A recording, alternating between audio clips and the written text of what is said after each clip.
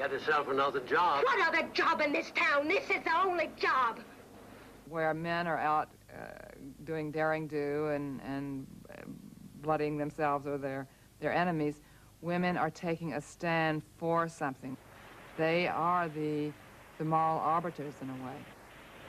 The definition of a heroic stature for a woman is a woman choosing in the plot not to do what society is telling her to do as a woman, to make a different choice, to make the choice that is not condoned. Child, you're out of your mind. You know you can't wear red to the Olympus Ball. Can't I? I'm going to. This is 1852, Dumpling. 1852, not the Dark Ages. Bette Davis was a trendsetter, all right. Whatever strengths we see in heroines today, they had their roots in Bette Davis. She was a heroine who knew who she was and wasn't afraid to show it. My father drank himself to death. My mother lives in Paris. I take a great deal of exercise. I'm accustomed to a reasonable quantity of tobacco and alcohol. I'm said to have a sense of humor. Is that enough? For most people, it would have been more than enough. But Bette Davis's heroines always wanted more out of life. No matter what obstacle was thrown in her way, she had enough courage to face it. In Dark Victory, you almost believed she could overcome death itself. I've never taken orders from anyone. As long as I live, I'll never take orders from anyone. And I'll tell you something else. I'm well, absolutely well. I'm young and strong and nothing can touch me. I think she's probably one of my all-time favorites. It was this kind of tough courage that was fear-driven. And it was as though she was always trying to be tough so that what no one would see, that she was this tiny, tiny little woman. It was the dichotomy that made her mind-bendingly fascinating to watch. It wasn't because she was so brave. It was because she was confronting her fear in front of you. Listen, Fanny. All I know is that kid sister of mine came back here again last night, and nobody's seen her since. And get this straight. If I find out that you or anybody else has laid a finger on her... You'll what? I'll get you. Even if I have to crawl back from my grave to do it. I wouldn't put it past her. There seems to be no limits to how far Bette Davis would go for her convictions. I mean, what could be more heroic than fighting for the chance to go with the man you love to a yellow fever colony?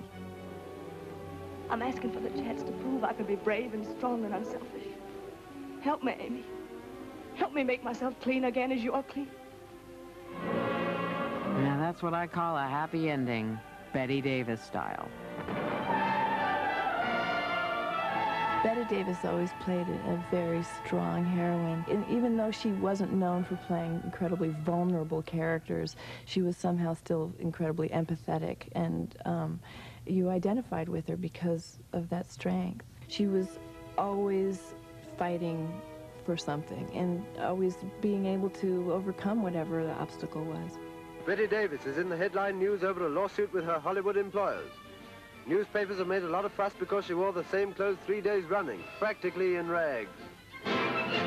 If they hadn't been paying so much attention to her wardrobe, they could have told us that she was suing Warner Brothers over a studio contract system that treated actors like chattel.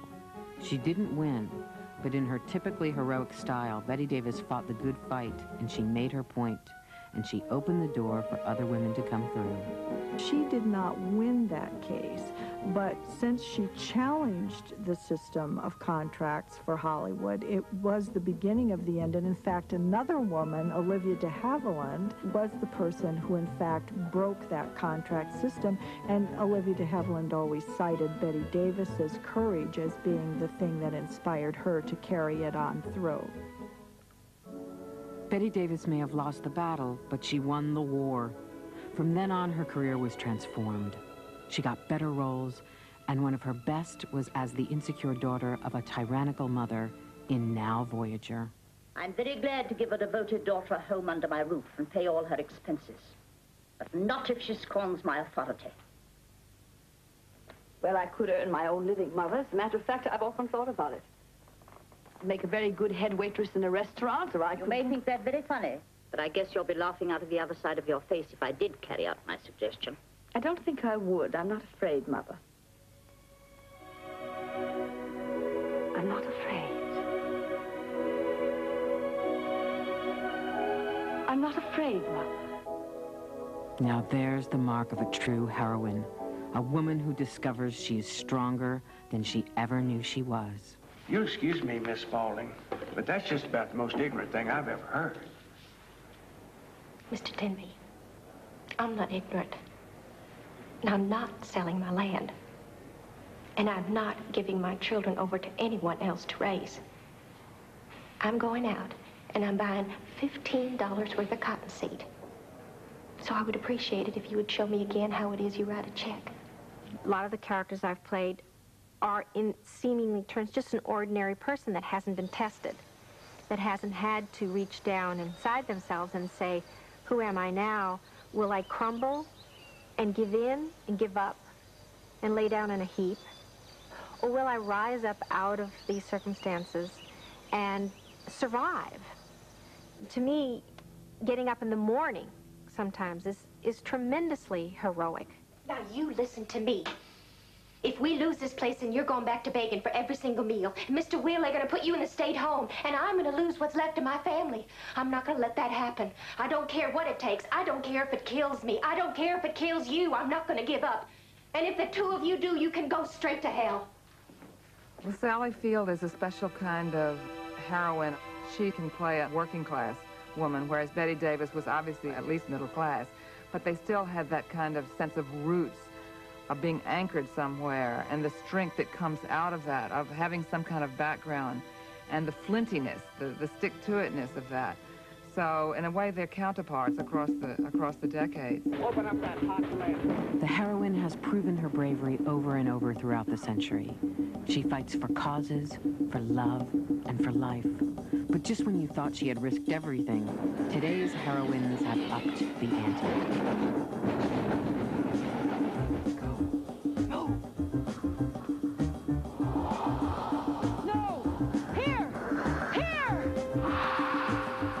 Sigourney Weaver is so magnificent at it. She's so physically statuesque and beautiful. And I'm compelled by it because you're less certain of her physical strength and know that, that she's having to fight an even harder battle because she has to overcome her own femaleness to win and beat this monster. Quite obviously, they could have hired a man for that role. To me, it made it more interesting and more complex that it was a woman Today's heroine is going where no heroine has gone before. She's entered the boys' club, and no matter what evil the heroine faces, it's quite clear. She'll be back. What's this? Uh, that's a grenade launcher. I don't think you want to mess with that. You started this. Show me everything. I can handle myself. Yeah, I noticed. Mr. Dawes, do you think really that I could be a star? Well, there's one phrase I've always avoided like the plague because it never worked out. With you, I think it would. You couldn't miss. Bogey was right. Just look at her. She is magnificent. A knockout, a goddess. But it takes some effort to look like that. Girls, the eyebrows up, a light powder, I want a little rouge right here. She needs a marvelous mouth. The hair, the hair, it's awful. It must come off. You have an impossible nose, a nondescript mouth. Your cheekbones are too high. But we can do something with the rest of you. Only in the movies can a woman be transformed from ordinary to spectacular in a two-minute montage. Of course, only in the movies could a goddess like Rita Hayworth be considered ordinary in the first place. Did you let your hair down? What? Let your hair down. But my favorite movie makeover doesn't even take one minute.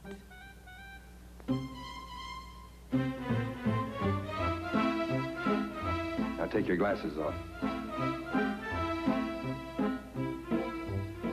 Strange. It always seems to work in the movies. She was just in the wrong movie. I'm just wondering if you have to, uh... Oh, Not necessarily. Now just watch this. In a few seconds, she'll suddenly be gorgeous. And it seems completely unrecognizable. Little things like that make enough. Hello. Hello. It's a good ploy in a movie to take a transitional character from one side to the other. It's used a lot, you know, Miss Smith, take off your glasses, take down the hair, shake your head, my God, you're beautiful. In the movies, you simply rip the frou-frou off your frock, add a little lipstick and a new hairstyle, and you're instantly ready for the cover of Vogue. Just like real life. How do I look? How do I look? How do I look? Like a queen, like a goddess. Stunning, isn't she? She is what we dream we'll see in the mirror after all those makeovers. A goddess. She's as desirable as she is unattainable, as aloof as she is provocative.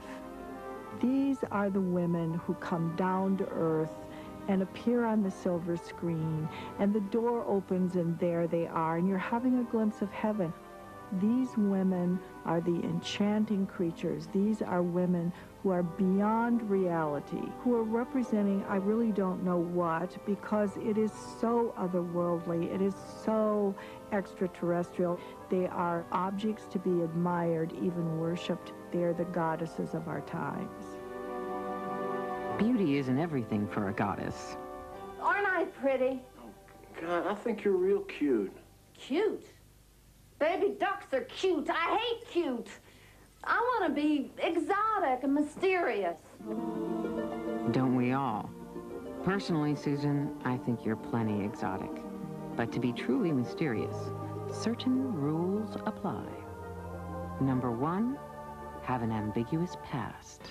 Well, Doc, I've changed my name. Married? No. It took more than one man to change my name to Shanghai Lily. Gee, I wonder what she means by that. The goddess is a class act, but she wasn't born yesterday.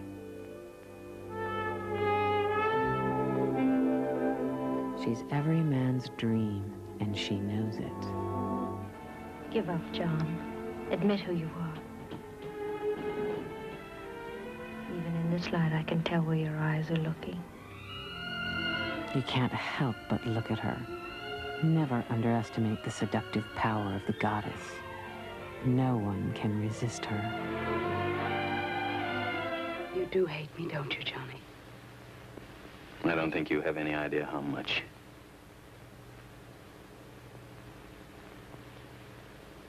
Hate is a very exciting emotion. Haven't you noticed? Very exciting.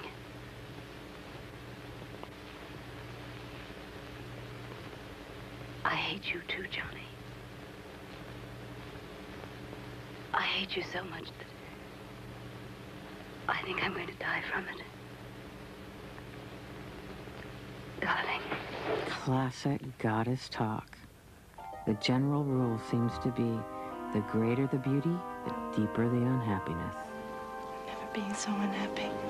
I'm sorry to say this, but those who are most worthy of love are never made happy by it.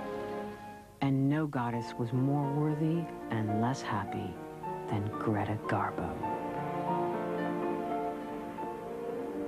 I think, Suzette, I've never been so tired in my life.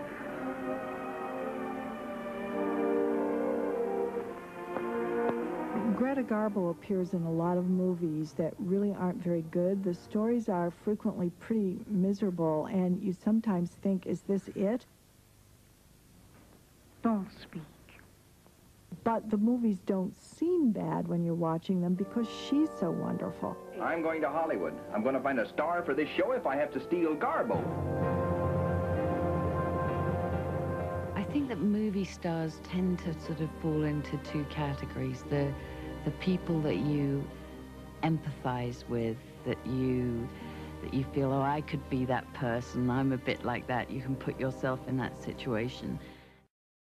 I think she's probably one of my all-time favorites. It was this kind of tough courage that was fear-driven.